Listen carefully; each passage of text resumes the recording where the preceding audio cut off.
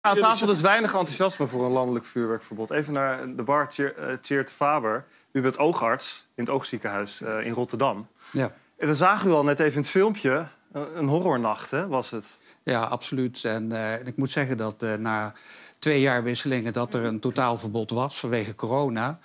Uh, zagen wij uh, nauwelijks uh, slachtoffers, 75% reductie. En ik heb in die twee jaarwisselingen niet eens hoeven te opereren. En deze jaarwisseling heb ik 25 slachtoffers gezien. we hebben er zeven moeten opereren. We hebben al ogen moeten verwijderen. Ook kinderen? Ja, kinderen. kind van zeven was, was de jongste. En als ik merk... We hebben wat beeld. We gaan, het, wat beeld. we gaan het niet al te lang laten zien, want ik Jack ja, die valt nou ja, een beetje kijk, dit Ik ben er helemaal niet tegen. Maar wat zien we hier? Want je nou, hebt hier wat beeld je van een operatie. dat wij, uh, dat wij uh, gisteren tot, uh, tot diep in de avond de hele dag geopereerd hebben om ogen te redden. Perfecte ogen voordat oudjaar begon. En dit is dan het resultaat. En dit is niet uh, iets van, uh, van, van alleen deze jaarwisseling.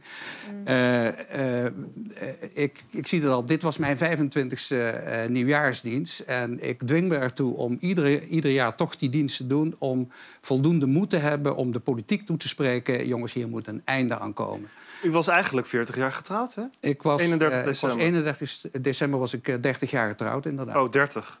En nee, u... sorry, uh, was ik 40 jaar getrouwd. Oh jee. Oh, dan gaat het wel mis. Oh, oh, Want ik wou net vragen, wat ja. vindt uw vrouw er eigenlijk van? Dat uh, nou ja, het werk gaat uh, op zo'n dag. Maar... Ik, ik had gehoopt op een landelijk totaal vuurwerkverbod. En dan was ik ook niet naar het ziekenhuis gegaan. Want dan had het ook niet gehoeven. Ja. Dat hebben we in twee jaarwisselingen hm. gezien. Maar mijn vrouw zei van, nou ja, weet je, je bent toch niet te houden. Uh, ga je nog maar lekker naar het ziekenhuis en uh, uh, lap die patiënten op. En, maar waarom, pleit u wel, Sorry? waarom pleit u wel voor een landelijk vuurwerkverbod? Omdat een landelijk verbod zal helpen. Tuurlijk. Tuurlijk is er, uh, is er ook tijdens die corona-nachten uh, is er uh, vuurwerk afgestoken. Maar een heel groot verschil is dat je gaat niet met vrouwlief en de kinderen kijken bij iets wat illegaal afgestoken wordt. En nu was het zo, het mag weer, het kan weer. We hebben 110 miljoen hieraan uitgegeven. En dan menen mensen ook, het is, het is veilig. Nou, het is absoluut niet veilig. Van die 25 patiënten die we gezien hebben, waren er twee uh, bewezen illegaal vuurwerk, wat ze zelf gekocht hadden, zelf afgestoken.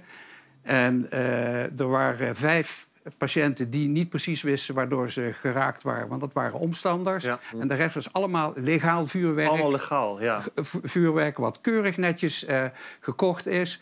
Siervuurwerk, want vuurpijlen en knalvuurwerk, dat mag niet meer. Siervuurwerk men denkt dat het veilig is. Nou, ik weet wel beter. Nou, en als mensen mij niet geloven, vooral uit de politiek, kom een nachtje mee kijken. Nou, Lilian, de politiek is er al mee bezig, hè? D66, Partij voor de Dieren. Ja.